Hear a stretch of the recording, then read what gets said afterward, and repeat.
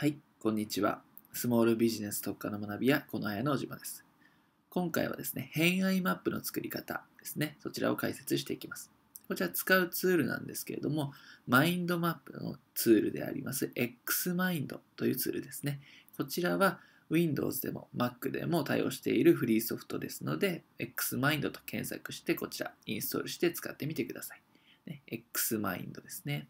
はい。でこちらね、もうあらかじめフォーマットとかデフォルトでテンプレート入ってるんですけれども、何かね、好きなもの選んでもいいんですが、まあ、基本的にはこのブランクのスタンダードなもの、こちらをダブルクリックで選んでいきます。そうしますとね、ここからマインドマップ作れるので、今回偏愛マップということで、初対面の方でもね、こう打ち解けられるような共通点をこう見つけて話し合えるような親近感をね、一気に感じてもらうような、まあ、自己紹介ツールですよね。そういったものをこのマインドマップで作っていきます。偏愛マップですね。でもこう中心にはですね、何を入れるかというと、ご自身のお名前ですね、を入れていただければなと思います。私、小島隼人と申しますね。はい。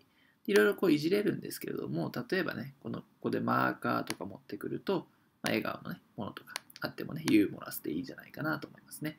で、プロパティのところでいくと、こちらね、例えばスタイルを変えられたりとかね、こういうスタイルがいろいろ変えられますよということですね。基本的にはまあ、スタンダードでもいいですし、例えば丸いのがいいのであれば、こういった柔らかい形にもできますね。こちらでね、いろいろ選べますね。形状は楕円とか長方形とかね、こういった形で選べます。これがね、中心トピックなんですけども、まあね、こちらのデザインに関しては、ここをいじっていただくと、いろいろ色とかテキスト変更できますので、やってみてください。でね、作り方、偏愛マップの作り方なんですけども、ここにね、置いた状態でエンターを押すと、枝分かれしたトピックが出てきます。例えばね、今、いい形で6つ出てきたので、こちらに書いていきます。こちらサブトピックですね。偏愛マップですので、好きなものを基本的には書いていきます。そのそちらのカテゴリーをね、作っていきましょう。例えば音楽とか、何でもいいんですけども、ね、本とかね。あとはそうですね、映画とかですかね。はい。例えば、こう、プライベートな家族のこととかとか、そうですね、えー、動物とかね、いいんじゃないでしょうかね。あとはね、仕事もビジネスで使う場合はね、入れておいた方がいいですね。他にもね、こう何か足していってエンターボタンでね、まあ Mac の方はリターンですね、エンターボタンでつけていくとね、いろいろできます。ということで、まあね、こちら置いておきましょうかね。こちら削除してね。例えば、そしたらサブテーマ作りましたら、今度音楽のところに置いてエンターを押すと。失礼いたしました。音楽のところに置いて、タブですね。タブキーを押すとこういうふうにサブトピックが出てきますね。でしたらこれ増やす。エンターで増やしていく。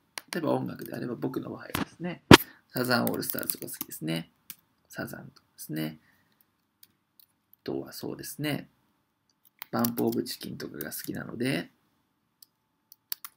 まあ、カタカナの方がいいですかね。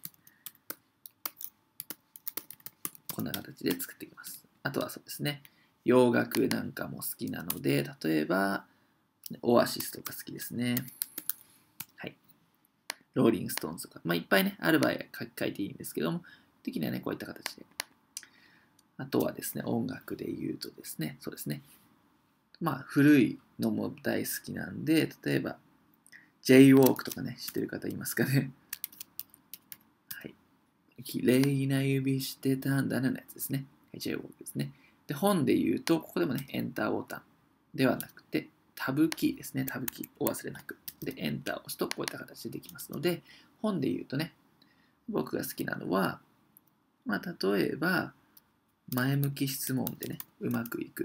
で、まあ、本のね、タイトルでもいいですし、著者名なんでもいいですかね。マリリー・ジー・アダムスですね。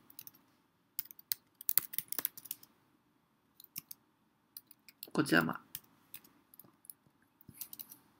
ご存知の方いますかね。こんな形で書いていきます。はい。で、本もね、こちら書いていって、例えば映画もタブキーをして、こちらサブトピック出てきますよね。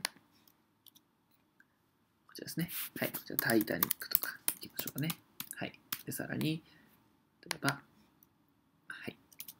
ターミネーターとかですね。はい。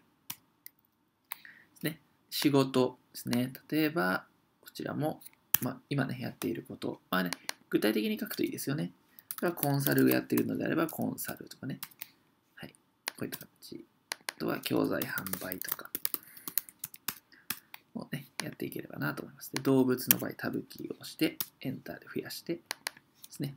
えっ、ー、と、シーズーという犬が好きなので、シーズーそれから、チワワも好きですよという形でやっていってください。で家族は、これね、家族の書き方は、例えばね、えー、父、ちらが、えっ、ー、と、鮮魚店を経営ですね。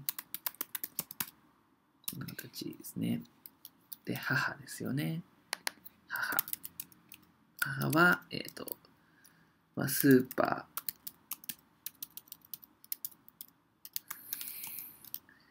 パートですね。はい。姉と。姉は専業主婦ということで、こんな形ですかね。で家族の場合、まあ、こちらにね、犬を入れてもいいんですけれども、こういった形ですね。という形で、まだこれは浅いんですけれども、これを掘り起こしていってもいいですし、こちらのところで、ね、トピックをね、サブトピック増やしていただいて何かね、やっていただければなと思います。でもね、私の場合、ウクレレが好きなので、ウクレレとかね、こういった形でやっていくと、そちらね、派生して、まあ、高木ブーさんでも何でもいいんですけれども、こういった形で派生して何かサブトピック、さらにスモールのトピックを変えていく。こういった形でね、どんどん大きくしていくと、ある一定のマインドマップで、こちら偏愛マップ作れますので、こういった形で偏愛マップを作ってみてください。真ん中にお名前を書いて、サブトピックを書いて、詳細に枝分かれして書いていくというのがね、一番書きやすい形かなと思います。形式はね、基本的には自由ですので、これを参考にして、まず一つ作ってみて、名刺代わりに渡してみてください。それでは今回の内容は以上になります。スモールビジネス特化の学びやこの早の小島でした。